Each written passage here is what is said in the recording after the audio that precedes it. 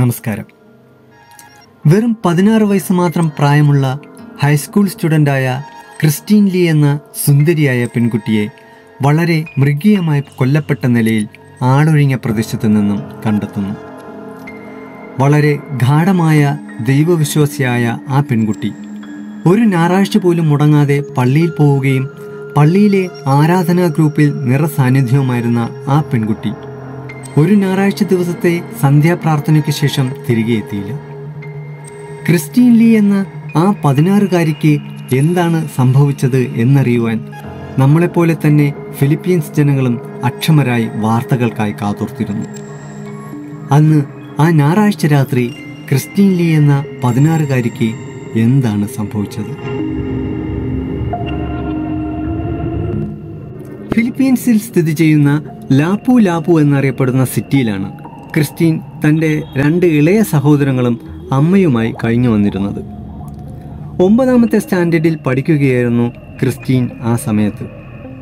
ക്രിസ്റ്റീന് ചർച്ചിൽ പോകുന്നത് വളരെ ഇഷ്ടമാണ്.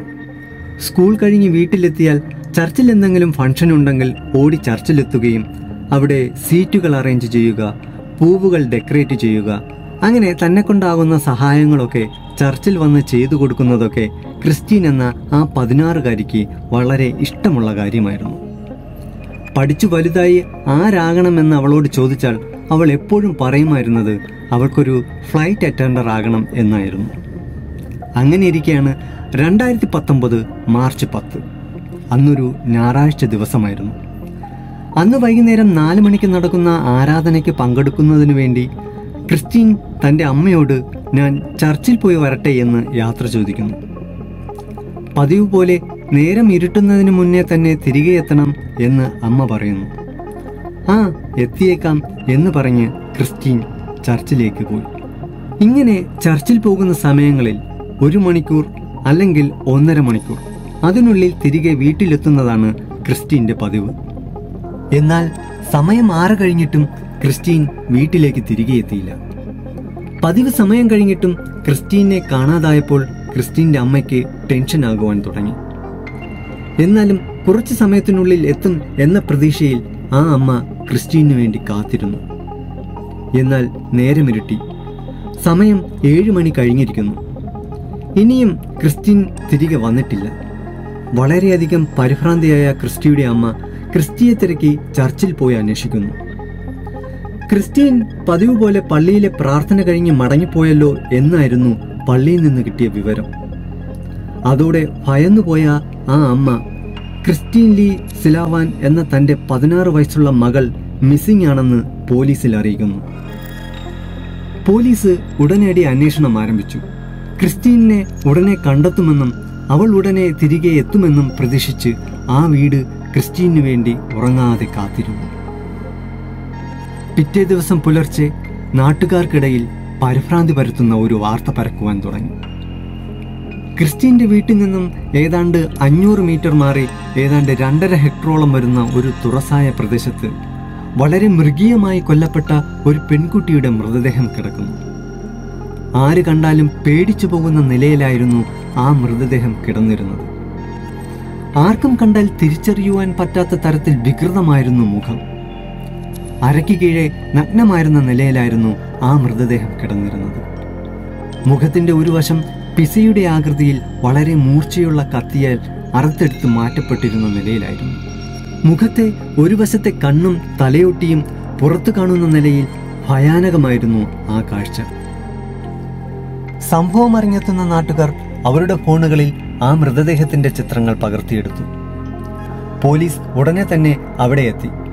മിസ്സിംഗ് കേസിലെ ക്രിസ്റ്റീൻ എന്ന പെൺകുട്ടിയാണോ എന്ന് തിരിച്ചറിയുവാനായി ക്രിസ്റ്റീന്റെ അമ്മയെ ആ സ്ഥലത്തേക്ക് പോലീസ് എത്തിക്കുന്നു.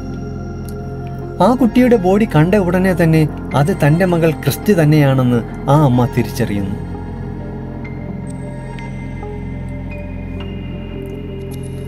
ബോഡി പരിശോധിച്ച ഫോറൻസിക് വിദഗ്ധരും പോസ്റ്റ്മോർട്ടം നടത്തിയ ഡോക്ടേഴ്സും വളരെ ഞെട്ടിക്കുന്ന കാര്യങ്ങളാണ് പുറത്തുവിട്ടത്. ക്രിസ്റ്റീൻ എന്ന ആ പെൺകുട്ടിയുടെ നാവ് പൂർണമായും അരിഞ്ഞു മാറ്റപ്പെട്ടിരിക്കുന്നു. അന്നനാളവും ശ്വാസനാളവും മുറിച്ചു മാറ്റപ്പെട്ടിരിക്കുന്നു. ഒരു ചെവി പൂർണമായും ഇല്ലാണ്ടാക്കിയിരിക്കുന്നു. മുഖത്തിന്റെ ഒരു വശം പിസയുടെ രൂപത്തിൽ പൂർണമായും മുറിച്ചു മാറ്റിയിരിക്കുന്നു. അതുമാത്രവുമല്ല ആ മുറിച്ചു മാറ്റിയ മുഖത്തിനുള്ളിലേക്ക് ആസിഡ് ഒഴിച്ചിരിക്കുന്നു കഴുത്തിൽ ആഴത്തിൽ കത്രിക കൊണ്ട് കട്ട് ചെയ്തിരിക്കുന്നു. കൂടാതെ കയർ ഉപയോഗിച്ച് കഴുത്ത് ഞെരിച്ചതിന്റെ പാടുമുണ്ടായിരുന്നു. ഡോക്ടേഴ്സിന്റെയും ഫോറൻസിക് വിദഗ്ധരുടെയും അഭിപ്രായത്തിൽ നോർമലായിട്ടുള്ള വ്യക്തി ഒരിക്കലും ഇത്രയും ബ്രൂട്ടലായിട്ടുള്ള കൊലപാതകം നടത്തില്ല.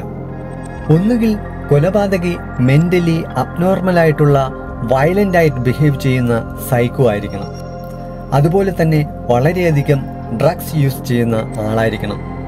അത് മാത്രവുമല്ല കൊലപാതകത്തിന്റെ രീതി വെച്ച് നോക്കുകയാണെങ്കിൽ കുറഞ്ഞത് മൂന്ന് പേരെങ്കിലും ഈ കൊലപാതകത്തിൽ പങ്കെടുത്തിട്ടുണ്ടായേക്കാം.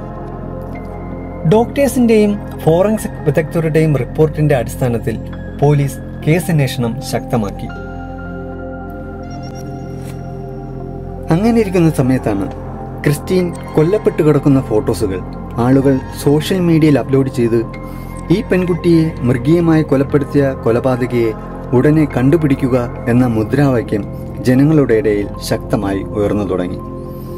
അങ്ങനെ ആ പോസ്റ്റുകൾ സോഷ്യൽ മീഡിയകളിൽ വൈറലാവുകയും നാഷണൽ തലത്തിൽ സെൻസേഷണൽ ന്യൂസ് ആവുകയും ചെയ്തു. അങ്ങനെ പോലീസ് ഉദ്യോഗസ്ഥർക്ക് ക്രിസ്റ്റീൻ എന്ന ഈ പെൺകുട്ടിയുടെ കൊലപാതകയെ എത്രയും പെട്ടെന്ന് കണ്ടുപിടിക്കണം എന്നൊരു പ്രഷർ ഉണ്ടാകുവാൻ തുടങ്ങി. അങ്ങനെ സമാനമായ കൊലപാതകങ്ങൾ മുമ്പ് നടന്നിട്ടുണ്ടോ എന്ന് പോലീസ് റെക്കോർഡിൽ പരിശോധിക്കുമ്പോഴാണ് പോലീസിന് സമാനമായ ഒരു കേസ് ശ്രദ്ധയിൽപ്പെടുന്നത്. ഇതേ സിറ്റിയിൽ തന്നെ ഏതാനും മാസങ്ങൾക്ക് മുമ്പ് അറുപത്തിരണ്ട് വയസ്സുള്ള ഒരു കർഷകനെ അതിമൃഗീയമായി കൊലപ്പെടുത്തുകയും ആ മൃതശരീരത്തിൽ നിന്ന് മാംസവും ഹൃദയവും വേർപെടുത്തിയിരുന്നു. അന്ന് ആ കേസ് അന്വേഷിച്ച പോലീസ് ഉദ്യോഗസ്ഥർ ബ്ലാക്ക് മാജിക് പോലുള്ള ദുർമന്ത്രവാദ പ്രവർത്തനങ്ങളിൽ ഏർപ്പെട്ടിരുന്ന മൂന്ന് സഹോദരങ്ങളെയാണ് കുറ്റക്കാരായി കണ്ടെത്തിയത്. പോലീസിന് പിടികൊടുക്കാതെ രക്ഷപ്പെടാൻ ശ്രമിച്ച ആ സഹോദരങ്ങളിൽ രണ്ടുപേരെ പോലീസ് അന്ന് വെടിവെച്ച് കൊന്നിരുന്നു. പക്ഷേ ഒരാൾ രക്ഷപ്പെട്ടു. അയാൾ ഇപ്പോൾ ഒളിവിലുമാണ്.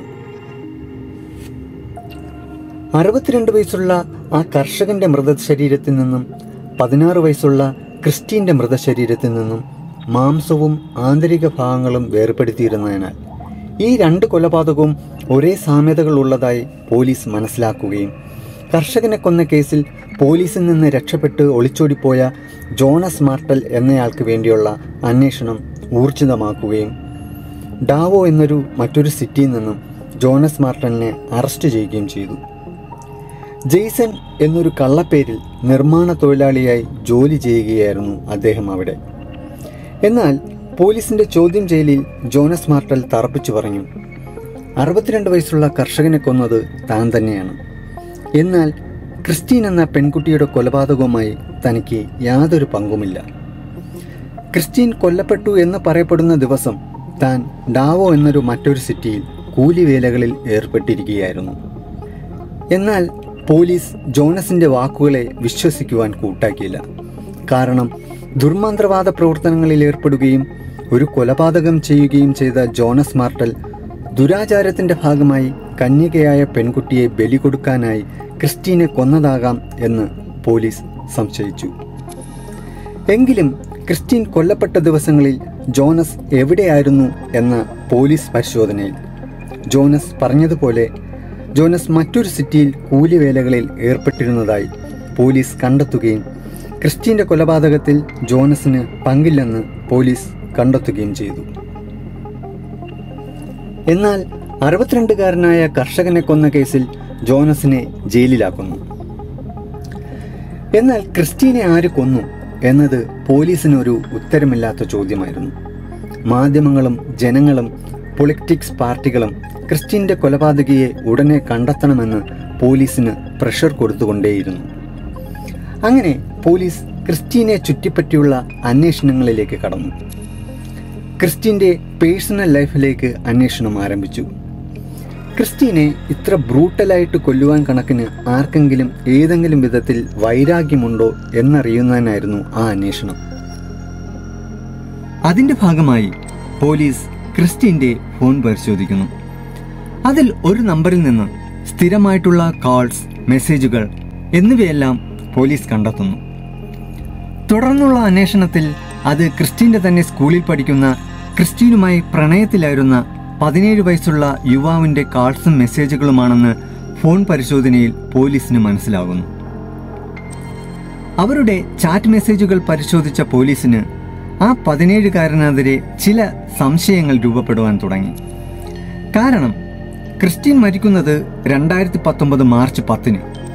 അതിന് തൊട്ടു മുമ്പത്തെ മാസമായ ഫെബ്രുവരി ഇരുപത്തിയെട്ടാം തീയതി ക്രിസ്റ്റീനും ആ പതിനേഴുകാരനുമായിട്ടുള്ള പ്രണയബന്ധം ബ്രേക്കപ്പ് ആകുന്നു എന്നിരുന്നാലും ആ പതിനേഴുകാരൻ ക്രിസ്റ്റീനുമായി സൗഹൃദ സംഭാഷണങ്ങൾ നടത്തിയിരുന്നു. അതിൽ തന്നെ ഒരുപാട് ഡിലീറ്റഡ് മെസ്സേജുകളും ഉണ്ടായിരുന്നു. അതിൽ ഇമ്പോർട്ടന്റ് ആയിട്ട് പോലീസ് കണ്ടെത്തിയ ഒരു മെസ്സേജ് മാർച്ച് പത്തിന് അതായത് ക്രിസ്റ്റീൻ കൊല്ലപ്പെട്ട ആ ദിവസം ആ മാർച്ച് പത്ത് ഞായറാഴ്ച പരസ്പരം കാണാമെന്നും ഒരു ടെഡി ബിയറും മൊബൈൽ ഫോണും നൽകാമെന്നുമായിരുന്നു. ഈ രേഖകൾ തെളിവുകളായി കണ്ട് പോലീസ് ക്രിസ്റ്റീന്റെ മുൻ കാമുകനായിരുന്ന ആ പതിനേഴുകാരനെ അറസ്റ്റ് ചെയ്യുന്നു. ഇതിനോടകം തന്നെ പോലീസ് പതിനൊന്നോളം സി സി ടി വി ഫൂട്ടേജുകൾ കളക്ട് ചെയ്തിട്ടുണ്ടായിരുന്നു. അതിൽ ക്രിസ്റ്റീനെയും കൂടെ ഒരു യുവാവിനെയും കാണാമായിരുന്നു. മുഖം വ്യക്തമാകാത്ത ആ സി സി ടി വി ഫൂട്ടേജുകളിൽ ക്രിസ്റ്റീൻ എന്ന ആ പതിനാറുകാരിയോടൊപ്പം നടക്കുന്നത് അവളുടെ എക്സ് ബോയ്ഫ്രണ്ടായിരുന്ന ഈ പതിനേഴുകാരൻ തന്നെയാണെന്നുള്ള രൂപസാദൃശ്യങ്ങളിൽ നിന്ന് പോലീസ് വ്യക്തമായിരുന്നു. അത് മാത്രവുമല്ല ചോദ്യം ചെയ്യലിൽ നിന്നും ക്രിസ്റ്റീൻ ചർച്ചിലെ ഓൾട്ടർ ബോയ്സിനോടൊപ്പം നിന്ന് സംസാരിക്കുന്നതും ഇടപഴകുന്നതും കണ്ട ഈ എക്സ് ബോയ് ഫ്രണ്ടിന് അസൂയയും പകയും ഉണ്ടാവുകയും അതൊടുവിൽ കൊലപാതകത്തിലേക്ക് നയിച്ചു എന്നതുമാണ് സാഹചര്യ തെളിവുകളുടെ അടിസ്ഥാനത്തിൽ പോലീസ് സ്ഥിരീകരിച്ചത്. എന്നാൽ ക്രിസ്റ്റീന്റെ ഫേസ്ബുക്ക് അക്കൗണ്ടിൽ നിന്ന് മറ്റൊരു തെളിവ് പോലീസ് കണ്ടെത്തുന്നു. സി ജെ ഡയാസ് എന്നൊരു അക്കൗണ്ടിൽ നിന്നും പ്രണയ സന്ദേശങ്ങളും അടുപ്പമുണ്ടാക്കാൻ ശ്രമിക്കുന്നതായിട്ടുള്ള ചാറ്റുകളും കണ്ടെത്തുന്നു. ഫോറൻസിക് വിദഗ്ധരുടെ അഭിപ്രായത്തിൽ മൂന്ന് പേരിൽ കുറയാത്ത ലഹരി മരുന്നുകൾ ഉപയോഗിക്കുന്ന ഒരു സംഘം തന്നെയായിരിക്കണം ക്രിസ്റ്റീന്റെ കൊലപാതകത്തിനു പിന്നിൽ എന്ന നിഗമനം കണക്കിലെടുത്ത്. പോലീസ് ക്രിസ്റ്റീന്റെ മുൻകാമുകനായ പതിനേഴുകാരനെ വീണ്ടും ചോദ്യം ചെയ്യുന്നു. ക്രിസ്റ്റീനെ കൊലപ്പെടുത്തുവാൻ തന്നോടൊപ്പം ആരൊക്കെ ഉണ്ടായിരുന്നു എന്ന നിലയിലായിരുന്നു ആ ചോദ്യം ചെയ്യൽ. എന്നാൽ താൻ ക്രിസ്റ്റീനെ കൊന്നിട്ടില്ല എന്നായിരുന്നു ആ പതിനേഴുകാരന്റെ ആവർത്തിച്ചുള്ള മറുപടി. എന്നാലും സാഹചര്യ തെളിവുകളുടെ അടിസ്ഥാനത്തിൽ ആ പതിനേഴുകാരൻ തന്നെയാണ് ക്രിസ്റ്റിനെ കൊന്നത് എന്ന കേസ് ചുമത്തി. പോലീസ് ആ പതിനേഴുകാരനെ കോടതിയിൽ ഹാജരാക്കുന്നു. എന്നാൽ അവിടുത്തെ നിയമപ്രകാരം പ്രതിയാക്കി ഹാജരാക്കിയ ആ കൗമാരക്കാരന് പതിനെട്ട് വയസ്സ് തേങ്ങിയിട്ടില്ല എന്നതും അറസ്റ്റ് വാറന്റോടെ അല്ല അറസ്റ്റ് ചെയ്തത് എന്നതും പരിഗണിച്ച് ആ പതിനേഴുകാരന് കോടതി ജാമ്യം അനുവദിച്ചു. എന്നാൽ ക്രിസ്റ്റീനെ കൊന്നത് ക്രിസ്റ്റീന്റെ മുൻ കാമുകനായിരുന്ന ആ പതിനേഴുകാരൻ തന്നെയാണെന്നും തങ്ങളുടെ പക്കലുള്ള തെളിവുകൾ അത് സൂചിപ്പിക്കുന്നു എന്നും ആ തെളിവുകൾ നിരത്തി കോടതിയിൽ നിന്ന് അറസ്റ്റ് വാറണ്ടോടെ ആ പതിനേഴുകാരനെ നിയമപരമായി ഉടൻ തന്നെ അറസ്റ്റ് ചെയ്യുമെന്നും പോലീസ് പത്രസമ്മേളനത്തിൽ പറയുന്നു. അങ്ങനെ ഇരിക്കെയാണ് സിനിമകളെ വെല്ലുന്ന മറ്റൊരു ടെസ്റ്റ് ഇവിടെ സംഭവിക്കുന്നത്.